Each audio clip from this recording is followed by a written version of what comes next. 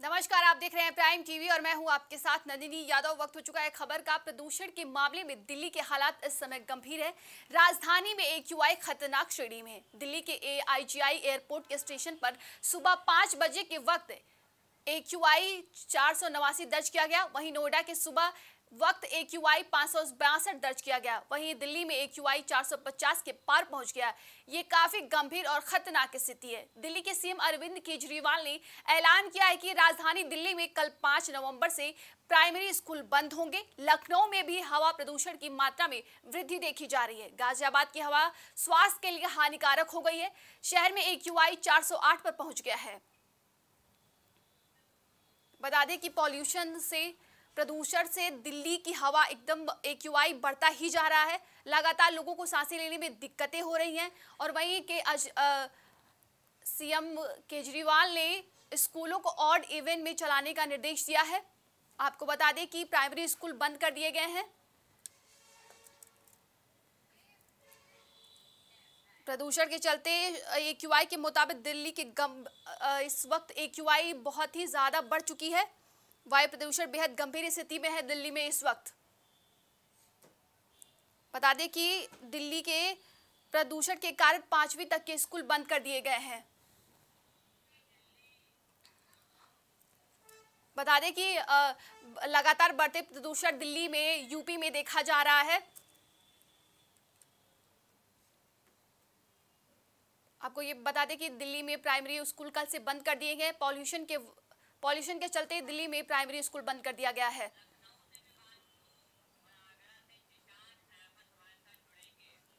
और इस पर अधिक जानकारी के लिए हमारे साथ हमारे सहयोगी आगरा से जिशान हमारे साथ जुड़ेंगे और लखनऊ से विभांशु हमारे साथ जुड़ेंगे।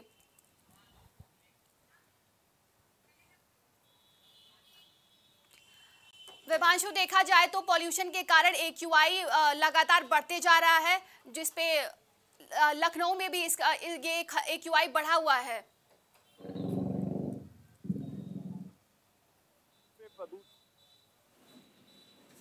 हुए नज़र आ रहा है। अगर बात की जाए देश की राजधानी दिल्ली में तो आपने अभी कहा कि ऑड एंड इवेंट तरीके से स्कूलों को चलाया जा रहा है। इसका सीधा नंदनी की बात की जाए तो कहीं ना कहीं पराली और दिवाली का त्योहार खत्म हुआ है, जिसमें लंबे तादाद में लोग पटाखे जलाते हैं। पटाखे जलाने के साथ साथ कहीं ना कहीं देखा जाए तो जो गाड़ियों की संख्या है, उसमें इजाफा दिन पे दिन होते जा रहा है, जिसका सीधा असर कहीं ना कहीं हमारे पर्यावरण पर पड़ते हुए नज़र आया है, जिसका ये नतीजा है कि अब जो एक लेवल है, वो अपने रेड लेवल पे जा चुका है। अगर बात की जाए तो दिल्ली की अगर बात करें तो दिल्ली और दिल्ली एनसीआर से सटे सभी जो ज़िले हैं, वो पूरी तरह से दूषित नज़र आ रहे हैं। वहीं अगर राजधानी लखनऊ की अगर नंदनी बात करें तो यहाँ का ए जहाँ की मैं फ़िलहाल चेक कर पा रहा हूँ, दो सौ बयासी है, जो कि कहीं ना कहीं एक, जो लेवल होती है क्यूआई स्केल होती है, उसमें डेंजरस होता है।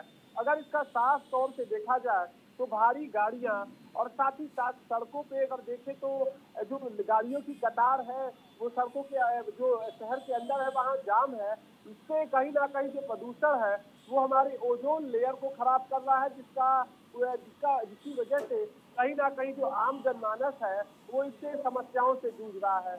अगर बात की जाए तो राजधानी दिल्ली के कुछ इलाकों में सांस लेने की भी दिक्कत हो रही है, जिसके चलते लोग काफ़ी परेशान हैं, और इसका अगर बात की जाए तो अगर देखें तो इस वक्त धान की खेत लगाए जाते हैं, और धान के खेत में कुछ जगहों पर खासकर पंजाब और हरियाणा में ऊपर की फ़सल काट ली जाती है और नीचे की फ़सल को खेत में जला दिया जाता है। इससे साफ़ तौर से इसका जो असर है वो प्रदूषण पे चल जा, जाते हुए नज़र आता है। और बात की जाए इस भारी प्रदूषण के चलते लगातार हम देख रहे हैं कि जो ओजोन लेयर है वो डेप्लॉय हो रहा है यानी कि इससे छिद्र हो रहे हैं पोर हो रहे हैं। जिसके चलते कहीं ना कहीं जो सूर्य है, उसका जो तपिश है, वो ज़्यादा देखने को मिल रहा है और प्रदूषण भारी मात्रा में। कहीं ना कहीं वायु प्रदूषण की वजह से आज ये क्यूआई लेवल दिल्ली समेत तमाम राज्यों में खराब है। साथ ही अगर राजधानी लखनऊ की भी बात करें तो ये भी कहीं ना कहीं एक ट्रैफ़िक से जूझता हुआ शहर है और जो गाड़ियों से निकलने वाले धुएँ हैं उससे कहीं ना कहीं एक्यूआई लेवल में प्रभाव पड़ते हुए नज़र आ रहा है। अगर बात करें तो बीते दिनों दिवाली खत्म हुई इसमें पटाखे जलाए जाते हैं विस्फोटक जलाए जाते हैं। तो कहीं ना कहीं इसका असर अब प्रदूषण पर देखने को मिल रहा है। जी नंदनी। विभांशु जैसा कि आपने बताया कि पराली को लेकर और देखा जाता है कि अक्टूबर से लेकर प्रदूषण लगातार बढ़ता ही जाता है। तो क्या सरकार को पराली को लेकर और सख्त होना चाहिए? जी बिल्कुल। अगर बात की जाए तो पराली जलाने को लेकर सरकार काफ़ी सख्त है। अगर बात करें उत्तर प्रदेश की तो उत्तर प्रदेश में अगर कोई पराली जलाता है तो वहाँ अगर कोई सूचना देता है तो वहाँ डायल हंड्रेड पहुँच कर और आगे की कार्रवाई करती है हरजाना लगाती है। अगर बात करें तो कहीं ना कहीं अन्य राज्यों को भी इससे सबक सीखना चाहिए और पराली पर खासकर पंजाब और हरियाणा को नियंत्रण रखना चाहिए। क्योंकि कहीं ना कहीं देखा जाए तो तमाम टेक्निक आ चुके हैं कृषि के अंदर में, जो खेत में जो बाल हो, बाल के बाद जो उसके तने होते हैं, पेड़ होते हैं, जो धान के, खासकर अगर देखा जाए तो दिसंबर और जनवरी में धान की फ़सल काटी जाती है। और जो बाकी बचे फ़सल होते हैं, फ़सल के निचले हिस्से होते हैं, यानी कि तना, उसको खेत में जलाया जाता है। तो कहीं ना कहीं इससे प्रदूषण असर आ रहा है तो इसको लेकर सरकार और साथ ही साथ जो केंद्रीय पर्यावरण मंत्रालय है, उसको भी दिशा निर्देश जारी करने की आवश्यकता है, जिससे कहीं ना कहीं हम प्रदूषण को खत्म कर सके और बेहतर जो वातावरण है, जो वायु का वातावरण है, उसे बना सके। अब देखने वाली बात ये होगी कि जहाँ अगर बात करें तो राजधानी देश की राजधानी दिल्ली और उससे सटे इलाकों में अभी स्थिति बहुत नाजुक है और सीवाई लेवल अपने टॉप मोस्ट पे पहुँचा हुआ है। तो कहीं ना कहीं इसमें पर जो मंत्रालय है, उसको सख्त निर्देश दिखाते हुए और पराली और साथ ही साथ जो गाड़ियाँ कहीं ना कहीं ज़्यादा दिखते हुए नज़र आ रही है सड़कों पर उस पर भी रोकथाम लगाने की आवश्यकता है और लोगों से कहीं ना कहीं अपील करने की आवश्यकता है कि आप पब्लिक ट्रांसपोर्ट का उपयोग करें। कम से कम आप गाड़ियों को लेकर सड़कों पर उतरे, जिससे हम अपने वातावरण को बेहतर बना सकते हैं। वहीं अगर बात की जाए तो देश की सरकार, यानी कि मोदी सरकार की तरफ़ से और साथ ही साथ सूबे के मुख्यमंत्री योगी आदित्यनाथ लगातार जो इलेक्ट्रिक व्हीकल है उसके आगे बढ़ाने के लिए और साथ ही साथ लोगों को उसके प्रति जाने के लिए और उसको अपने चॉइस में सेलेक्ट करने के लिए लगातार आग्रह कर रहे हैं। वहीं अगर राजधानी लखनऊ की बात करें तो बीते दिनों आपने देखा कि सूबे के मुख्यमंत्री योगी आदित्यनाथ इलेक्ट्रिक व्हीकल पे 15 परसेंट का डिस्काउंट किए, जिससे कहीं ना कहीं लोगों के अंदर में इच्छा हो रही है। आने वाले दिनों में अगर हम इलेक्ट्रिक व्हीकल और पराली पर रोकथाम लगाते हैं तो वातावरण में सुधार देखने को मिल सकता है। जी। जिशान आगरा में भी लगातार प्रदूषण बढ़ रहा है। आप देख रहे हैं एक्यूआई लेवल आगरा में भी बढ़ता जा रहा है।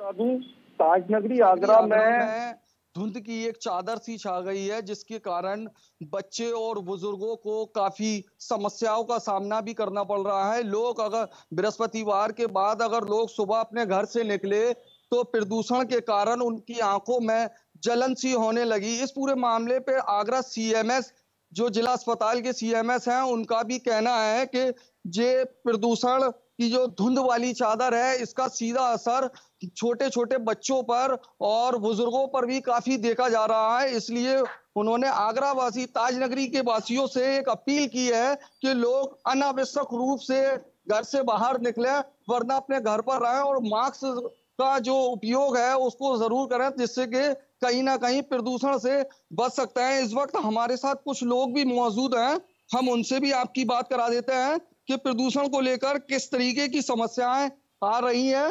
सर क्या नाम है आपका? केदार सिंह परमार। सर जी प्रदूषण को लेकर बृहस्पतिवार के बाद सुबह काफ़ी समस्याएँ देखी गई हैं। लोगों को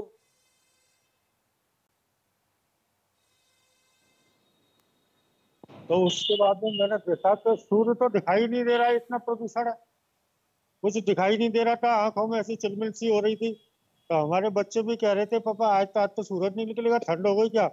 मैं, ठंड नहीं है। ये चीज़ जो है, जो प्रदूषण हो रहा है, आसपास लोगों को समझाते हैं, वो भी नहीं मानते। अब जितनी हवा चलती है, फरारी भी जलाई जा रही है गवर्नमेंट भी ये कहती है कि इनके ऊपर जुर्माना लगेगा और गवर्नमेंट ने इतनी सारी चीज़ें निकाल रखी हैं कि फरारी को नष्ट किया जा सकता है, दवाई भी निकाल रखी है, लेकिन हम लोग सुधरने वाली नहीं है पब्लिक। जब तक पब्लिक नहीं सुधरेगी, तब तक प्रशासन क्या करेगा? और ये इसके ऊपर जो प्रदूषण है, इस प्रदूषण के ऊपर हम लोगों को भी सुधार करना पड़ेगा, दूसरी बात मास्क लगा के भी रखना पड़ेगा, अपनी सुरक्षा अपने हाथ में ही होती है। देखा आपने, लोगों का खुद कहना है कि लोगों को खुद अपनी सुरक्षा करनी होगी, क्योंकि दुनिया की सबसे खूबसूरत इमारत भी यहाँ पर है, ताजमहल। तो इसको लेकर प्रशासन, नगर निगम भी काफ़ी अलर्ट रहता है। लेकिन कहीं ना कहीं कह सकते हैं कि ये नगर निगम की भी बड़ी लापरवाही है, क्योंकि जो दुकानदार होते हैं और तमाम इस तरीके की जो चीज़ें होती हैं, जो अपने दुकान के बाहर आग लगा देते हैं तो जिससे दुनिया की सबसे खूबसूरत इमारत, ताजमहल पर भी इसका असर देखा जाता है। और जो बच्चे हैं और जो लोग हैं उनको उनको भी काफ़ी समस्याएँ होती है। एक बच्चा भी हमारे साथ है हम उससे बात करा देते हैं। बृहस्पतिवार की बात वो अपने घर से निकला तो उसको किस तरीके की समस्या का सामना करना पड़ा? बेटा क्या नाम है आपका? मेरा नाम है सर समीर।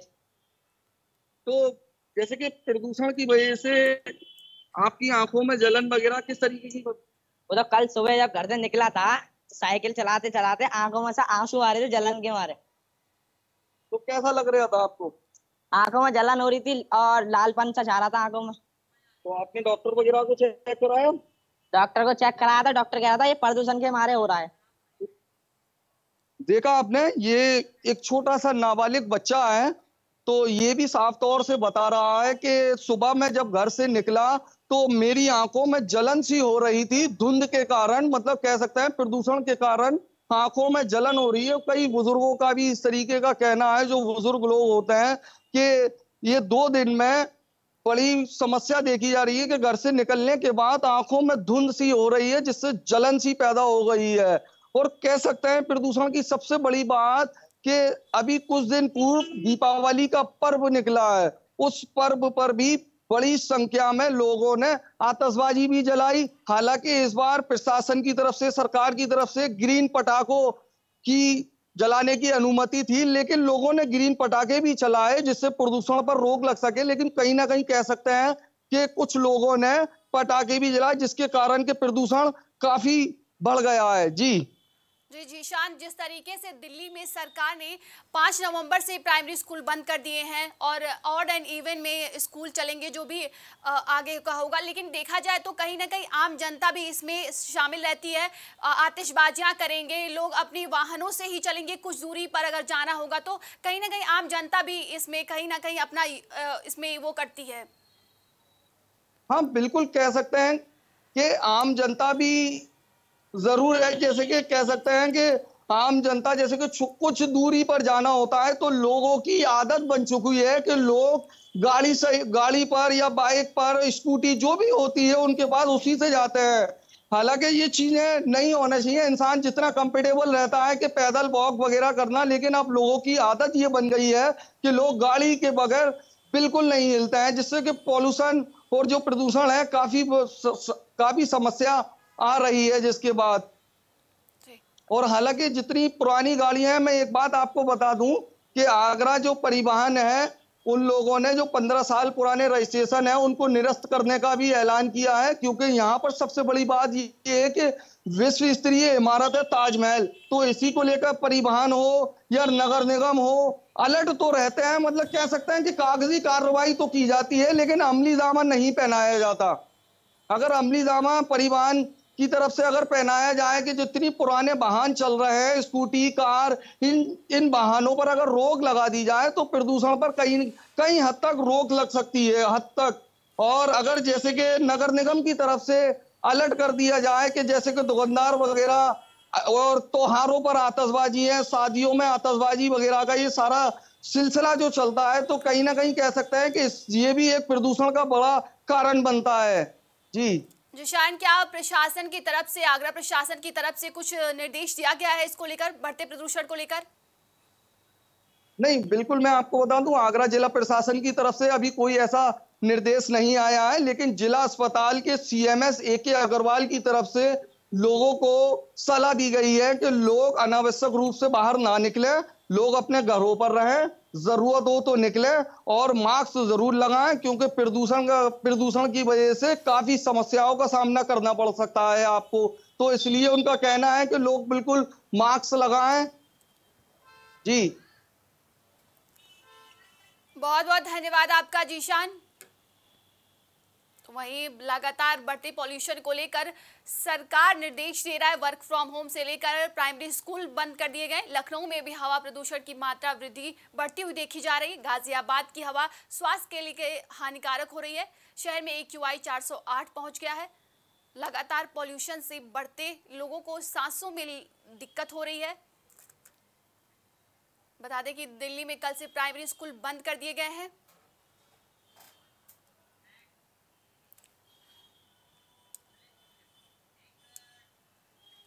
यूपी में डेंगू के मरीज़ लगातार बढ़ रहे हैं। जनवरी में 2022 से लेकर अब तक प्रदेश की डेंगू में कुल 7,134 मरीज़ मिल चुके हैं। प्रदेश में सबसे ज़्यादा 1,171 डेंगू मरीज़ प्रयागराज में मिल चुके हैं। वहीं लखनऊ की बात करें तो एक हज़ार अठावन केस है। गाजियाबाद में 513 केस अयोध्या में चार केस और जौनपुर में तीन सौ इकहत्तर डेंगू के मरीज़ मिले हैं। वहीं बीते दिनों में लखनऊ में 40 मरीज़ मिले जबकि गोंडा में 42 लोग चपेट में आ चुके हैं। उप मुख्यमंत्री ब्रिजेश पाठक ने स्वास्थ्य विभाग के अधिकारियों के साथ बैठक कर स्थिति की समीक्षा की। उन्होंने लोगों से अपील की कि प्लेटलेट्स पर आमतौर पर वायरल और फीवर में कम हो जाते हैं। ज़रूरी नहीं है कि डेंगू में प्लेटलेट्स घटे। ऐसे में डेंगू को लेकर घबराए नहीं। बता दें कि लगातार डेंगू का प्रकोप बढ़ता जा रहा है। लगातार डेंगू के मरीज़ मिलते जा रहे हैं। चाहे वो लखनऊ में हो, प्रयागराज में हो, आगरा में हो, हर तरफ़ डेंगू डेंगू का प्रकोप बढ़ता मिल रहा है। शहर के अलग अलग हिस्सों से डेंगू के मरीज़ मिल रहे हैं। वहीं पे वहीं उप मुख्यमंत्री ब्रिजेश पाठक ने लोगों से अपील की है कि वो लोग इस स्थिति में घबराएँ नहीं। प्लेटलेट्स ज़रूरी नहीं है कि डेंगू में ही कम होते हों।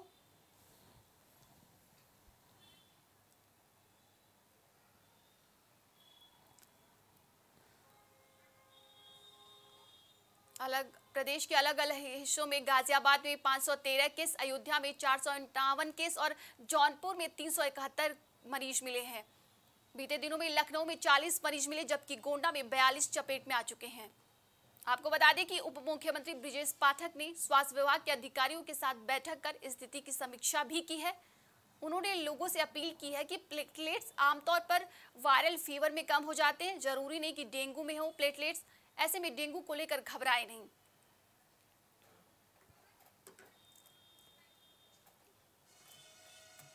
प्रदेश में लगातार डेंगू के मरीज़ मिल रहे हैं। वहीं शहर के अलग अलग हिस्सों से डेंगू के मरीज़ बढ़ते जा रहे हैं।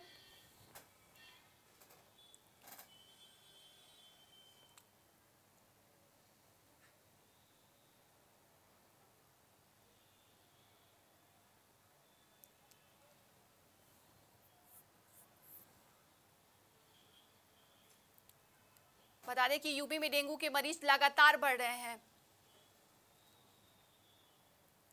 2022 में जनवरी से लेकर अब तक प्रदेश में डेंगू के कुल 7,134 मरीज़ मिल चुके हैं। और वहीं प्रयागराज में सबसे ज़्यादा डेंगू के मरीज़ देखे जा रहे हैं। लखनऊ में अब तक एक केस आ चुके हैं। गाजियाबाद में 513 केस हैं, अयोध्या में चार सौ अठावन केस। लगातार डेंगू के मरीज़ देखा जाए तो बढ़ते जा रहे हैं, इसलिए अस्पतालों में भी बेड की कमी है, दवाइयों की कमी दिख रही है। वहीं बीते लखनऊ में, बीते दिनों में लखनऊ की बात करें तो 40 मरीज़ मिले हैं, जबकि गोंडा में 42 लोग चपेट में आ चुके हैं। जौनपुर में तीन सौ इकहत्तर केस मिले हैं। डेंगू मरीज़ लगातार बढ़ते जा रहे हैं। उप मुख्यमंत्री ब्रिजेश पाठक ने स्वास्थ्य विभाग अधिकारियों के साथ इसको लेकर बैठक की है क्योंकि ये गंभीर समस्या है जो लगातार डेंगू के मरीज़ बढ़ते जा रहे हैं। देखा जाए तो अस्पतालों में मरीजों की लगातार लाइन लग रही है और प्लेटलेट्स को लेकर एक बड़ा मुद्दा बना हुआ है। प्लेटलेट्स घट जा रहे हैं। अस्पताल में देखा जाए तो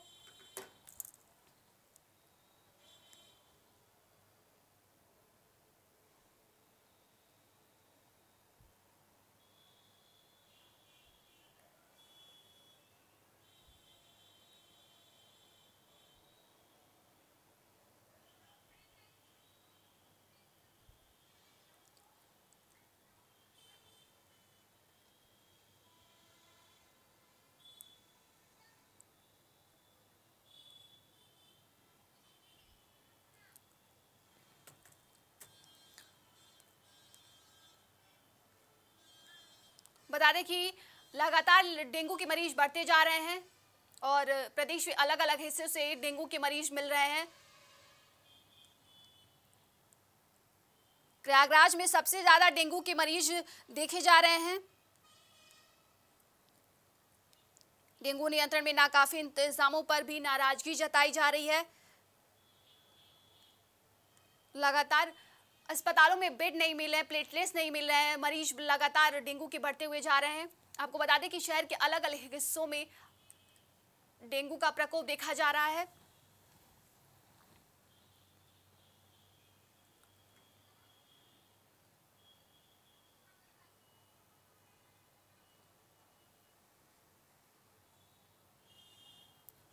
बात करें, लखनऊ में 40 मरीज़, जबकि गोंडा में भी बयालीस मरीज़ देखने को मिले हैं। गाजियाबाद में 513 केस, अयोध्या में चार केस। प्रयागराज में सबसे ज़्यादा डेंगू के मरीज़ मिल रहे हैं। लगातार डेंगू का प्रकोप बढ़ता जा रहा है, देखा जाए तो। स्वास्थ्य महाकमे में इसको लेकर बड़ा चुनौतीपूर्ण है, क्योंकि लगातार डेंगू के केस बढ़ते जा रहे हैं।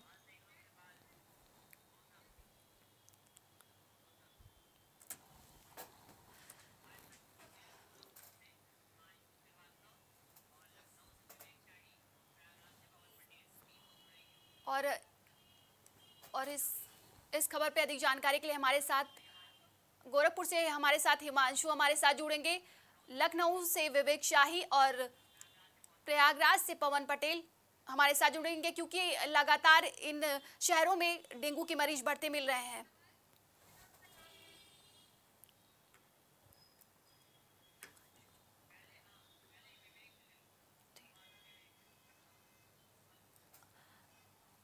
विवेक, देखा जाए तो लगातार डेंगू का प्रकोप बढ़ रहा है और देखा जाए तो लगातार डेंगू के मरीज़ बढ़ते ही मिल रहे हैं। पूरे सूबे में तो ऐसा कोई भी शहर नहीं है जहाँ डेंगू ने अपना पैर न पसारा हो। सूबे की जनता जो है डेंगू से त्रस्त हो चुकी है। अगर बात करें तो राजधानी लखनऊ की हालत जो है, इस समय शहरी इलाकों की अगर मैं बात करूँ, ग्रामीण क्षेत्रों की बात मैं अभी नहीं कर रहा हूँ छोड़ दे रहा हूँ। अगर शहरी इलाकों की बात करूँ तो ऐसे कई शहरी इलाकों हैं, जैसे चंदन नगर हुए इंदिरा नगर इंदिरा नगर हुआ, अलीगंज अलीगंज अलीगंज हुआ, ऐसे कई क्षेत्र हैं जहाँ डेंगू के केसेज जो है रेगुलर मात्रा में रोज ही आ रहे हैं। और शहरी इलाके इस तरह इस तरह से प्रभावित हो चुके हैं। डेंगू से कि वहाँ पे काफ़ी ज़्यादा मात्रा में जो है संक्रमितों की पुष्टि हो रही है। अगर कल की बात की जाए तो कुल चालीस मरीज़ जो है, डेंगू के, नए संक्रमित मरीज़ की पुष्टि हुई और लगभग बीस दिनों के बाद जो है चालीस का आंकड़ा जो है, संक्रमितों संक्रमितों में हुआ हुआ है। इससे पहले जो है ये आंकड़ा जो है तीस के अंदर होता था, लेकिन इस बार जो है बीस दिनों के बाद फिर से नए चालीस डेंगू के नए संक्रमित वो सामने आए हैं। तो ये अब बहुत बड़ा सवाल उठ रहा है। सभी के लिए चाहे वह स्वास्थ्य विभाग हो, चाहे वो नगर निगम हो, कि वो अपने अपने कामों को कितनी अच्छी तरीके से निभा पा रहे हैं नहीं निभा रहा क्योंकि संक्रमितों की संख्या में रोज़ाना ही इजाफा हो रहा है। नंदनी। जी। पवन देखा जाए तो प्रयागराज में सबसे ज़्यादा केस देखने को मिल रहे हैं तो स्वास्थ्य महकमे के लिए कहीं ना कहीं ये बहुत बड़ा चुनौतीपूर्ण है क्योंकि लगातार मरीज़ बढ़ते जा रहे हैं।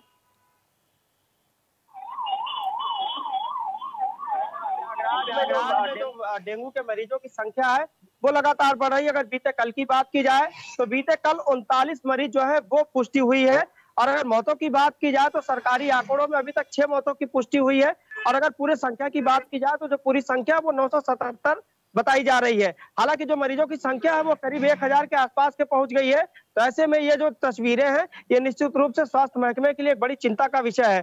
और एक सबसे बड़ा जो महत्वपूर्ण विषय अभी तक सामने आया है बीते कल से ही प्रयागराज में उत्तर प्रदेश सरकार के डिप्टी सीएम ब्रिजेश पाठक दौरे पर हैं। देर शाम को उन्होंने जो है आ, कई अस्पतालों का निरीक्षण किया। उन्होंने स्वास्थ्य विभाग के ऊपर एक प्रश्न चिन्ह खड़ा किया है सबसे महत्वपूर्ण यह है कि उन्होंने जो दवा के छिड़काव किए जा रहे हैं, उन्होंने उस पर प्रश्न चिन्ह उठाए हैं। उनका कहना था कि या तो इन दवाओं में कोई कमी है, या स्वास्थ्य विभाग के कार्यों में। तो निश्चित रूप से ये एक बड़ा सवाल भी है कि आखिर इस तरह जो मरीजों की संख्या बढ़ रही है, उस पर रोकथाम क्यों नहीं लगाई जा रही है और क्यों नहीं लग पा रही है? तो निश्चित रूप से डिप्टी सीएम का ये बयान कहीं न कहीं स्वास्थ्य महकमे के लिए एक बड़ा प्रश्न चिन्ह को खड़ा कर गया है और एक बड़े सवाल की ओर जो है, ये इंगित कर रहा है। और ये मरीजों की संख्या है अगर उसमें कमी नहीं आती तो निश्चित रूप से कहीं ना कहीं स्वास्थ्य महकमा इसकी तरह से इस पर पूरी तरह से जिम्मेदार होगा। जी नंदिनी। देखा जाए तो पवन अस्पतालों में बेड की कमी है प्लेटलेट्स को लेकर एक बड़ा मुद्दा उठा था बीच में। तो कहीं ना कहीं देखा जाए तो लग, लगातार मरीज़ ये शिकायत कर रहे हैं कि अस्पताल में बेड नहीं है। बिल्कुल नंदिनी जिस तरीके से लगातार प्रयागराज में जो डेंगू के मरीज़ है उनकी जो संख्या वो प्रतिदिन के हिसाब से बढ़ रही है। और सबसे बड़ी बात यह है कि लगातार स्वास्थ्य महकमा कह रहा है कि हम पूरे कार्यों को बड़े निश्चिंत से कर रहे हैं और जिस तरीके से जो कार्य हो रहे हैं, अगर जमीनी स्तर की बात की जाए तो जमीनी स्तर पर कहीं ना कहीं स्वास्थ्य विभाग फेल नज़र आ रहा है। क्योंकि लगातार जो मरीजों की संख्या है वो बढ़ रही है और जो मौतों की संख्या है वो धीरे धीरे बढ़ रही है, जो एक बहुत बड़ी चिंता का विषय है और कहीं ना कहीं जो लोगों की शिकायतें हैं, जैसा कि अभी कुछ ही दिनों पहले की बात की जाए तो प्रयागराज में वीडियो सोशल मीडिया पर वायरल हुआ था, जिसमें कहा गया था कि मरीज़ को, डेंगू के मरीज़ को प्लेटलेट्स की वजह मौसमी का जूस चढ़ा दिया गया था। तो इस तरीके की ये जो तस्वीरें अभी तक आई है एक बड़ा सवाल खड़ा करती है कि आखिर स्वास्थ्य विभाग इस तरह की लापरवाही क्यों कर रहा है और क्यों यहाँ पे जो है मरीजों को इस तरह की समस्याओं से दो चार होना पड़ रहा है? हालाँकि अगर बात की जाए, सरकारी आंकड़ों की तो सरकारी आंकड़ों में ना ही अस्पताल में दवाओं की कमी है, ना ही प्लेटलेट की कमी है ना ही बेड की कमी है। लेकिन जो मरीजों की परेशानी है, वो कहीं ना कहीं कम नहीं नज़र होती आ रही है। बड़ा चिंता का विषय है। जी नंदिनी। हिमांशु, देखा जाए तो गोरखपुर में भी लगातार डेंगू के मरीज़ बढ़ रहे हैं। तो क्या स्थिति वहाँ पर सरकारी अस्पतालों की बनी हुई है? मरीज़ बढ़ रहे हैं और काफ़ी मरीज़ मिले हैं। कईयों की तो बहुत ही हो चुकी है डेंगू से। कई लोगों की और प्लेटलेट की बहुत बड़ी समस्या यहाँ पे रही है। आप मेडिकल कॉलेज से खड़े हैं, मेडिकल कॉलेज गेट के बाहर हम खड़े हैं, जहाँ दो तीन बस, दिन बाद ही आपका है, योगी आदित्यनाथ यहाँ आएँगे। मुख्यमंत्री सुबह के आके इसका उद्घाटन भी करेंगे और अंदर प्लेटलेट की बहुत कमी रह रही है। हालाँकि लोगों को जो है प्लेटलेट की व्यवस्था की जा रही है। ज़्यादातर डोनेटर को भी लाया जा रहा है। ब्लड डोनेटर आए, उसको और पूरी तरह से कैंपिंग भी की जा रही है। लेकिन फिर भी कहीं ना कहीं प्रशासन पूरी तरह से डेंगू पे लगाम लगाने के लिए जो है, नाकाफी साबित हो रहा है। उनकी जितने भी प्रयास है, हालाँकि इस समय नगर निगम इस तरीके में आ गया है कि सत्ते में आकर के वो सिर्फ़ डेंगू के मरीज़ जहाँ मिल रहे हैं, उनके घर का ही चालान कर दे रहा है, उनका चालान कर दे रहा है। ऐसे में उसको जो छिड़काव करना चाहिए, जिस जिस जगह डेंगू के मरीज़ मिलते हैं, जिस मोहल्ले मिलते हैं, वहाँ पे पूरी तरह से नगर निगम को चाहिए कि उस जगह को पूरी तरह से बैरिकेटिंग करके हर जगह जाँच की जाए, घरों की जाँच की जाए, कहाँ पानी कटा है। हालाँकि डेंगू की मरीज़ की बात करी जाए तो डेंगू के जो मच्छर होते हैं, वो उनके लार्वा जो है पानी में, एक चम्मच पानी में भी डेंगू के लार्वा जो है, वो पाए जा सकते हैं। इसे पूरी तरह से कूलर है, गमला है, कहीं भी पानी को इकट्ठा नहीं होना किया जाता है। और किसी चीज़ की जाँच भी नगर निगम करना पड़ता है, लेकिन नगर निगम कहीं भी नाकाफी कोशिश कर रहा है और पूरी तरह से डेंगू पे लगाम लगाने के लिए नाकाफी है, इनके पूरे प्रयास। और हालाँकि स्वास्थ्य महत्व की भी बात करें तो पूरी तरह से प्लेटलेट की जो है व्यवस्था की जा रही है, कोशिश की जा रही है कि ज़्यादा से ज़्यादा प्लेटलेट की व्यवस्था करके लोगों को जो है जीवन बचाया जा सके। विवेक नगर निगम की बात करें तो वो शहरों में देखा जाए तो कहीं ना कहीं साफ़ सफ़ाई भी कर देते लेकिन गाँव में भी बड़ी समस्या होती है नगर निगम वहाँ नहीं पहुँच पाते। तो देखा जाए तो गाँवों से भी डेंगू के मरीज़ लगातार बढ़ रहे हैं। जहाँ तक लखनऊ की बात की जाए, नंदिनी तो लखनऊ में समय शहरी क्षेत्रों में डेंगू का प्रकोप ज़्यादा फैल रहा है। ज़्यादा से ज़्यादा मरीज़ अगर मैं बात करूँ तो वो शहरी क्षेत्रों से डेंगू से मिल रहे हैं। ग्रामीण स्तर की बात यही छोड़ दीजिए, अगर लखनऊ जैसे राजधानी राजधानी कह रहे हैं लखनऊ में अगर शहरों की स्थिति इस तरह से रहेगी शहरी इलाकों से रोज ही जो है काफ़ी ज़्यादा मात्रा में अगर मरीज़ मरीज़ मिलेंगे तो गाँव की तो बात ही बात भी आनी चाहिए। गाँव की बात ही छोड़ दीजिए। इंदिरा नगर चंदन नगर ऐसे अलीगंज हो गए, ऐसे कई क्षेत्र हैं जहाँ जहाँ पे रोज़ाना जो है काफ़ी ज़्यादा मात्रा में जो डेंगू के संक्रमित मिल रहे हैं। अगर कल की बात की जाए तो चालीस मरीज़ जो है लखनऊ के विभिन्न क्षेत्रों में भी मिले हैं, जहाँ पे चंदा नगर में सर्वाधिक आठ नौ मामले दर्ज किए गए और इंदिरा नगर में पाँच मामले दर्ज किए गए हैं। तो ग्रामीण स्तर की तो बात ही छोड़िए, नगर निगम की जो काम है, जो शहरी क्षेत्रों में अलग अलग नगर निकायों में जाके उसका जो काम है, अगर वो ढंग से नगर निगम ये चीज़ें हैंडल कर पाता है तो उसके बाद ही जो है, ये सारी चीज़ें जो है, वो कंट्रोल में आएगी वरना इसी तरह केसेस बढ़ते चले जाएँगे। दूसरी बात, हमने अस्पतालों का भी निरीक्षण किया था, नंदिनी, कल हम सिविल अस्पताल सिविल अस्पताल हजरतगंज में गए हुए थे, जहाँ के हम बता दें कि कुल 302 मरीज़ जो है, वो वायरल फीवर और डेंगू वाले जो है, कल की डेट में, कल की डेट में इनका इलाज चल रहा था और वहाँ पे वहाँ की पैथोलॉजी में लोग जो है, ब्लड टेस्ट की, ब्लड टेस्ट कराने की लंबी लाइनें जो है, लग रही थी। इस समय डेंगू इस तरह से लखनऊ के लोगों के जहन में इस तरह से बैठ गया है कि वो वायरल फीवर होने पर भी पैनिक कर लेते हैं, क्योंकि डेंगू और वायरल फीवर दोनों में एक प्लेटलेट से रखना एक सामान्य सी बात है, दोनों प्लेटलेट जो है घटते रहते हैं तो कहीं ना कहीं जो है मरीज़ जो है इसको जो है कोरिलेट करके डेंगू से देख रहे हैं और पैनिक हो जा रहे हैं। इसलिए इसी मसले पर जो स्वास्थ्य मंत्री सूबे के स्वास्थ्य मंत्री ने अपील की है जितने भी लोग हैं, उनसे अपील की है कि इस सिचुएशन में पैनिक नहीं होना है, पैनिक होने से चीज़ें बिगड़ जाती है। वहीं उन्होंने अपने अधिकारियों को भी ज़रूरी निर्देश किए हैं कि जनता को जागरूक किया जाए जिससे भी अवेयरनेस प्रोग्राम चलाने चलाया जाए और युद्ध स्तर पर इसका काम हो नंदनी। देखा जाए तो विवेक लगातार उप मुख्यमंत्री ब्रिजेश पाठक स्वास्थ्य विभाग अधिकारियों के साथ बैठक कर रहे हैं समीक्षा कर रहे हैं। तो अभी अभी कितनी निर्देश की ज़रूरत है सख्त कार्रवाई की ज़रूरत है क्योंकि अस्पतालों में लगातार ये शिकायत बनी हुई है कि बेड, बेड की कमी है प्लेटलेट्स की कमी है। बता दूँ कि हमने कई अस्पतालों का दौरा किया हुआ है वहाँ वायरल फीवर से लेके है उसके बाद ऐसे भी मरीज़ है जिनको सांस की भी तकलीफ़ है, डेंगू के भी मरीज़ है तो अस्पतालों में जो है मरीजों का तांता लगा हुआ है। मरीजों की संख्या अस्पतालों से घटाने के लिए ही सूबे की सरकार ने और स्वास्थ्य मंत्री ब्रजेश पाठक ने एक टेलीमेडिसिन प्रोग्राम भी शुरू किया है, जो बड़े से बड़े अस्पताल, जैसे के जी एम लोहिया और और भी जितने भी बड़े अस्पताल हैं यहाँ पे, वहाँ पे स्वचालित की जाएगी और सुबह दस से बारह बजे तक टेलीमेडिसिन का प्रोग्राम होगा। लोग घर बैठे ही डॉक्टरों से परामर्श ले सकेंगे। ले, सकेंगे और इसकी पहल जो है अब यूपी, यूपी में शुरू हो गई है। एक अलग आईडी भी डॉक्टर स्टाफ की बनेगी ताकि मरीजों की जो संख्या है जो मरीज़ जो है अस्पतालों में जा रहे हैं उनकी संख्या में कमी की जा सके घटाई जा सके और घर बैठे ही मरीजों को परामर्श और इलाज मिल सके। मयूरी नंदनी।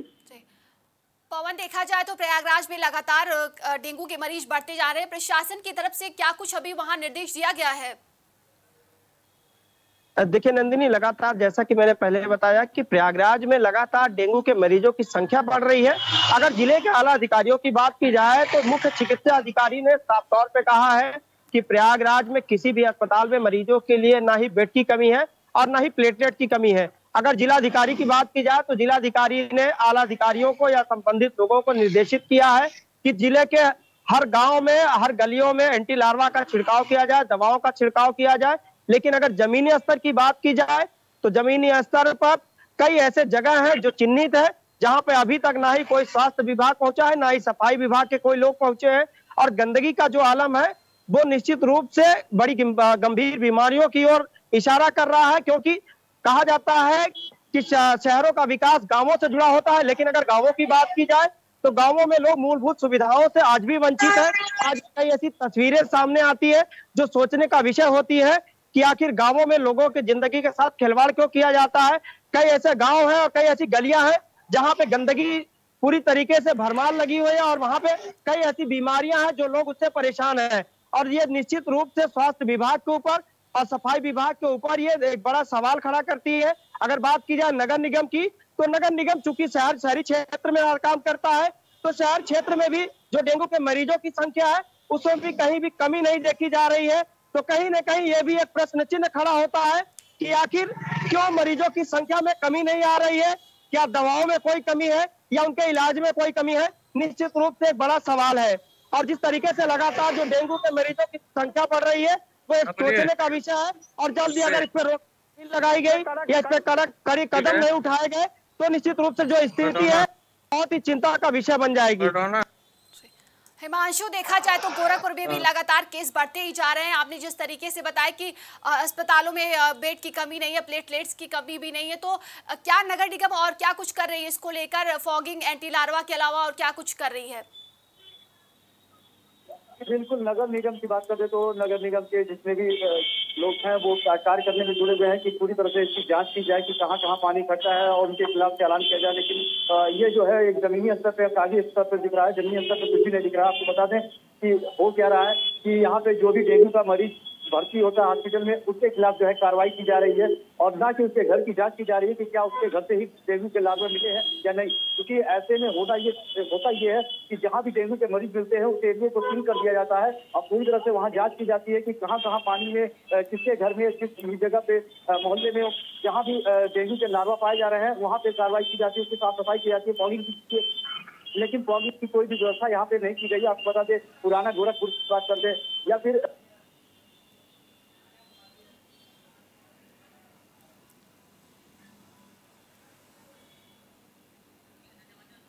हिमांशु, बहुत बहुत धन्यवाद आपका। विवेक लखनऊ से हमारे साथ जुड़े थे। विवेक बहुत बहुत धन्यवाद आपका। और बता दें कि प्रयागराज से पवन पटेल हमारे साथ जुड़े थे। पवन, बहुत बहुत धन्यवाद आपका।